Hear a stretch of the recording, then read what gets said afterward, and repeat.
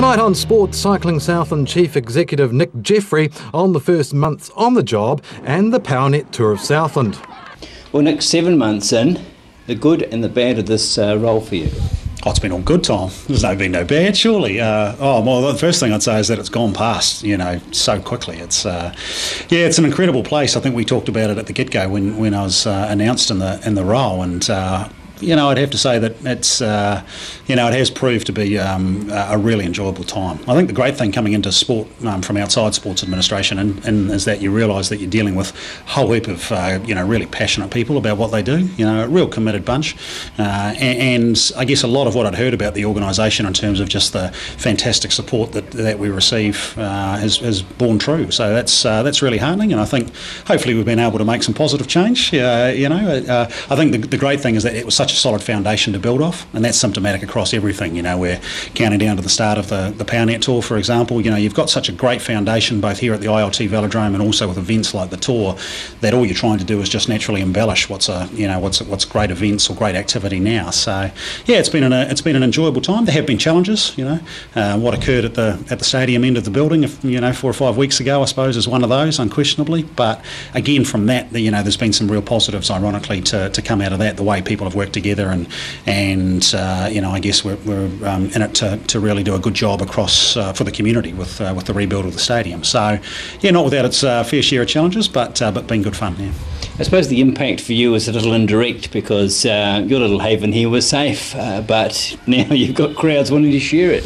I don't know if you can pick up the noise in the background here, but I think it's fantastic. You know, we've got we've got uh, you know the mini ball basketball going right now, which is great. Yeah, I mean it's look, it's going to put a bit of pressure on down this end of the building, uh, and you know I've, I've uh, I think it's fair to say that it's it's quite easy for all of the all of the sports and organisations to get nice and close together to start. The, the challenge and the difficulty, and, and I know the stadium are, are living this on a daily basis, is trying to make all the pieces of the puzzle fit, and that's not going to be easy because there will be people that will miss out, you know, and it will have an impact from a cycling point of view on availability too, you know.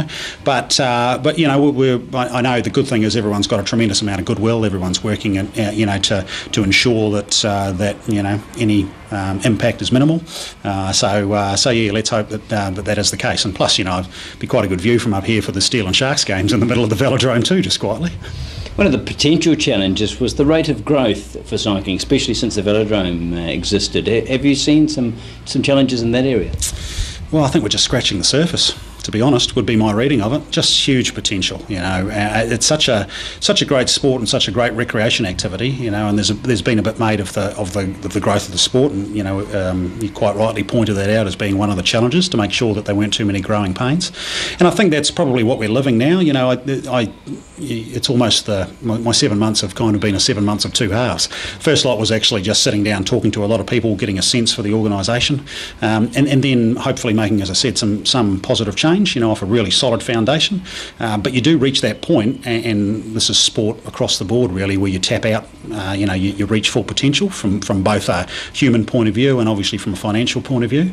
And I suppose the only frustration that I've had is that there's so much we could end up doing. Some of this you've got to be strategic about saying, well, that goes into next year's plan, or heaven forbid, the year after. Because the danger is there's so much that we could do that we end up doing a lot of stuff semi well rather than doing, you know, making some some um, some good steps, you know, and, and some key things off. So I suppose that's the balance that we're trying to find as an organisation uh, organisation as well. But look, it's, it's uh, as I say, that we're just getting started. Really, it's it's uh, it's got huge potential. So where is the growth coming from? Is it coming from schools, from corporate, or just from every corner? Well, I think we could we could actually tick all of those boxes. To be honest, I think particularly our focus is we've done a lot of work in trying to um, and, trying to bring juniors up through the ranks, uh, and, and, a school-based program which we're looking at rolling out um, in, in 2011. I think is going to be a big part of that. First job that, that uh, I did when I came in here was to employ a development officer, uh, and we've got Matt Archibald now who's been up and going for a few months and doing really great work with uh, the kids, uh, bringing them up through the ranks you know. And if I've said it once, I've said it a hundred times, uh, you know, to, to people around the organisation. It's all about pathways. And I know that sounds a bit grippy and it's one of those new age terms, but I think it's really important for anyone at whatever level, and it's not just about juniors who comes into our organisation. There has to be a nice, easy step for them to actually, uh, I guess, you know, continue to grow, you know, as a cyclist, and whether it's at a recreational level or a high performance level, and everywhere in between. So, so that's uh, that's been where a lot of the focus has been. So certainly schools, you know, I'd, I'd, say, particularly with a facility like we've got here at the ILT Velodrome, uh, the reality is every school has a first 15, uh, has a senior A netball team, has a first 11 cricket side. Every single school in Southland well, naturally I'd say this, but it should have a senior cycling team as well because you know you get you do tend to get a bit blasé about the facility you've got. I'm lucky enough to walk in here every day and go, man, this is world class, and it really is. This facility just blows me away every day. Uh, so so that you know along with a, a, really intensive road program as well, I think um, you know really really does mean that you know cycling continues to grow corporate market, same deal. You know, such a such a huge uh, area for us with on the back of the Harrix Group Corporate Pursuit we run every year as well. Uh, so there's chances to, to grow that area, and of course it's blokes like you and me. You know, it's the it's the MAMILs, which is my favourite acronym, Middle Aged Men in Lycra, uh, and, and, that's the biggest growth area for the sport, you know, nationwide. And I think the stats are something like 65% of cyclists are 35 um, years of age or over. So just a huge, um, just a just a huge portion of the of the cycling community. And even though middle aged men in Lycra Is not a great mental picture, um, the, the the reality is is that uh, it's a key market. You know that that masters men and women category. You know, so uh, so it's all of the above, mate. It's all of the above. So, as a man, mammal, have you been on the track? Because I think when I last to you, hadn't had a spin. Well, I'm still trying. I'm still debating whether 35 is middle aged, mate. To be fair, but uh, but yeah, I'm, I'm I've actually officially become a masters cyclist, which is a bit worrying. 35 years of age is the cutoff. I have had a go, yeah, and, and look, it's and that's the thing, I suppose. It's been useful coming in as a non-cyclist mm. into the sport because what it's actually shown is that uh, we need to do a better job of making it easy for people to get started and to grow, you know, and, and pathways, you know. So, so, uh, so yeah, I've enjoyed it. It's, it's one of those, certainly on a track, it's one of those exhilarating experiences that you, you, you have a crack at and you get off and you go, that was outstanding, give me another go. Uh, and I think that's the thing. If, if you looked at the Southland um, population, uh, whether they're cyclists or not, you know, how many would have actually had a go out in the velodrome? A small minority, to be honest, if you were being blunt about it. So the, the great thing about this facility is that it's the most accessible velodrome in the world, and that's good, but it's not enough because we can do a better job about finding ways to get people in here and enjoying it because it is a community facility. Uh, and then you've got the road, you know, which is, to be honest, more accessible probably than the track. You know, it's a bit intimidating getting out on the boards out there, but but certainly that whole recreational element is a is a, a real focus for us as well. Finding those people that that go out on rides themselves and finding them nice and safe and easy ways to actually start off within under our auspices. They don't have to race; they just have to get out there and be taught how to actually do it properly. And then, if they so wish, they can develop into into uh, taking part in our club activities on the weekends. So, yeah, all of that sort of stuff. And I've had a go at both. Although, as you can probably tell from my waistline, I need to do a wee bit more. All right, uh, it's a change of tack for you next week because previously you've looked at the Powernet Tour of Southland from a media point of view, now you're looking at it from a responsibility point of view. How does it look from that angle? Uh, it's Bruce Ross's baby. That's no, yeah, well, it is actually. To be fair, yeah, I, th- I think again it's shown uh, just what a and I suppose it has been a bit of an eye opener for me, to be honest, about just what a major logistical undertaking it is to deliver this. And you'll know it. You know, your organisation does such a great job for us from a from a TV and coverage point of view. You'll know what a major undertaking it is for you guys, and it's uh, I guess the same, especially now when you look at running public events.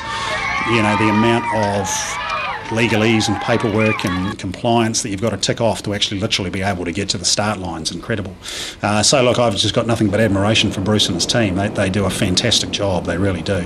Uh, and I'm really looking forward to it, you know, because it, when I when I suppose I took this job um, seven months ago, it was this week that's coming with the Powernet Tour that I was really looking forward to being a part of, you know, and, uh, you know, to have been behind the scenes, I guess, helping in some small way, hopefully, to, uh, to put on a great event uh, has been really enjoyable, but, it, you you know, it, it, it's the week that we're all looking forward to now.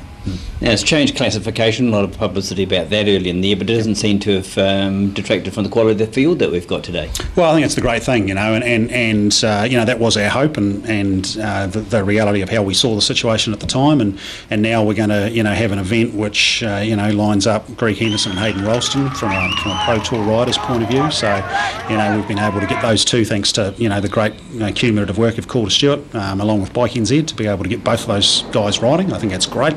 Uh, but it's not just about those two, you know, as well. You know, you've you've you've got uh, I think five of the seven from the Commonwealth Games uh, road racing team, and what a spectacular effort that was from the New Zealand side in Delhi. Uh, you know, and to have most of those guys, uh, you know, lining up at the start line, Macaulay, Jack Bauer. Uh, Clinton Avery, you know, and then there's a whole heap of other storylines that go with it too. So yeah, it's a really quality field, which is great. There's Blake Landis as well, which there's been a wee bit of talk about too, lining up. So plenty of storylines to follow, and it's just going to be fantastic to to see how it goes. Don't forget to tune into Cue at 9.30pm each night for extensive tour coverage, and that's repeated at 7.30 the next morning.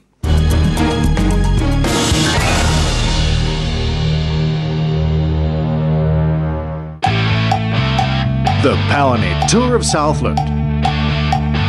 Powering to a town near you.